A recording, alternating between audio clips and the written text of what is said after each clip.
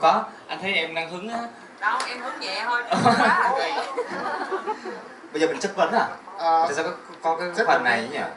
Em đâu biết đâu trong kịch bản ghi gì thì em làm như vậy đâu em hiểu lắm chẳng bao giờ các chất vấn ai hết á. Rồi. Ờ, vừa rồi thì chúng ta đã nghe những ca khúc gọi là nhẹ nhàng tương đối nhẹ nhàng đi để tạo đến mình để dành những ca khúc mà nó hay hay hay hay lên ở phần sau. Ờ, bây giờ thì đến lúc mà mọi người có thể ờ, giao lưu trực tiếp với cả anh Jun nếu mà ai có bất kỳ một câu hỏi thắc mắc gì về ờ, bất cứ một điều gì thì mọi người cứ giơ tay nhá. Tại vì buổi, buổi hôm nay thì mình cứ thân mật mình cứ nhẹ nhàng với nhau thôi nhỉ. Có ai có cái câu hỏi gì không ạ? Ở đây có cái này. thấy chưa?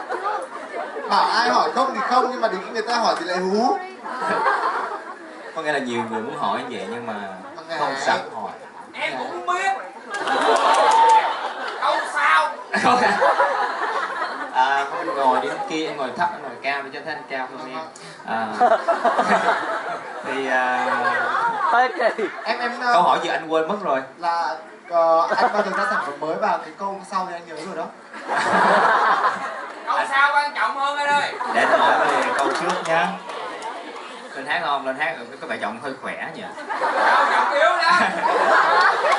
Thì trước mắt thì trước nhất là Ờ, sản phẩm mới thì thực ra cái vlog nhà có một người làm một sản phẩm mới đó mọi người. Thấy nói vậy thôi chứ nó là một sản phẩm rất đầu tư của Jun. À, nó là sẽ là sản phẩm trải dài từ đây đến cuối năm. Và nó sẽ có những bài hát nho nhỏ cứ bỏ nhỏ ở trong đó. Và à, cuối cái dự án đó sẽ là một cái ờ, mini album với tất cả những bài hát ballad nhẹ nhàng dễ thương đáng yêu nằm wow rồi nó sẽ là một cái chú ý. Dự án à, nhẹ nhàng thanh tao thoát tục của Trinh Phạm. Tuyệt vời. Bao gồm mà sắc nhạc và lifestyle. Như mọi người đã thấy nếu mà Jun à, chuyển sang bắn nồi bắn niêu thì mọi người cũng ủng hộ Jun nha. Anh trung là anh đang hào hức ở câu sau lắm rồi. Em hức quá hả? Hào hức câu sau á là kiểu như là anh trả lời nhanh nhanh hết một yeah yeah mấy câu đầu tiên đi để anh đến câu sau á. Trời ơi à, khi nào Jun lập gia đình lấy vợ lấy lấy vợ. Vợ thì uh, Jun nghĩ thứ nhất khi nào em lấy Jun À, khi nào anh lấy thì em mới có cớ lấy nó nói rồi đó mọi người khi nào nó lấy thì tôi mới có cớ lấy. À, thật ra thì à, thật ra mình già đúng không? Nhưng mà cái tuổi không anh đừng nhìn này em em trẻ hơn anh nhiều mà. Em sinh năm mấy em sinh năm 95 anh. Ủa? Em sinh năm chấm năm đó hả? 9 á 95 95 em vẫn còn 9 lắm. Anh thì hơi trái rồi. 90 à. À, 89 tới biết rồi.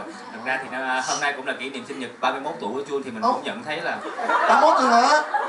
Ủa? Em không biết hả em là MC gì vậy? ý là em tưởng anh trẻ hơn thì cái mặt anh trẻ băng à. Đấy chính xác. Cái này là tôi là cố tôi gài vô nói nghĩa là còn trẻ đó mọi người ơi rất là trẻ không có nghĩ nhiều. Khi mình ra cái uh, series nhà có một người là mình hiểu rồi đó có nghĩa là mình hiểu là bây giờ mình già rồi nhưng mà mình vẫn cảm thấy rất là vui vẻ cho cái việc sống độc thân. Em hiểu rồi. Anh bảo là cái series nhà có một người là trải từ bây giờ đến cuối năm. Đúng. Đầu năm sau là nhà có hai người mong làm sao cái chuyện đó. Thật ra cái đó là một chuỗi dự án ờ, thả thính mọi người. Ờ, có thấy mình cô đơn gì đó thì nhiều người sẽ vô. Thật ra từ ờ, ra hai tập rồi đó mà anh có rất là nhiều ờ, à lời đề nghị. lời đề nghị À. ờ, đi ờ, nước ngoài sống luôn. Bây giờ mọi người cho tôi đi nước ngoài sống luôn không. Qua bển lấy vợ. Được đó chứ? Được không?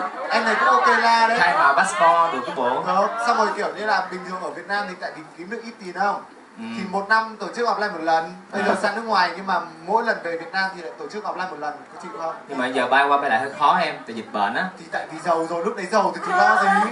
Chuyên cơ riêng. Thế vậy thôi chứ Việt Nam giàu hơn á anh nghĩ kiểu thế vậy chứ không, có- không có ở bên bển không có biết không biết làm gì trơn. nói chung là mọi người chỉ hỏi anh là dự định khoảng bao năm nữa thì lấy À. vợ. Xuân nghĩ nha. Nếu mà về cái cá tính của mình là ham chơi đây lấy luôn ham chơi là giữ lấy sớm á mọi người. Thì ham chơi nhưng mà cẩn thận. À. Ham chơi an toàn nha. Thì tôi nghĩ là khoảng uh, 35 yeah. Ý anh sao? Ý anh sao? ba 40 đồ 35 40 á. Già rồi. Ủa chứ em mấy tuổi? Em mới 12 tuổi à. Em học lớp 6 uống thuốc chưa? Chưa. Chưa hả đề nghị cho nó như panadol. Nó bị tửng rồi đó vậy đó bé gái uh, Vai trắng bé gái ơi bé trắng ơi. trắng mà hỏi câu thâm ghê Không. còn bạn nào có câu hỏi nữa không ạ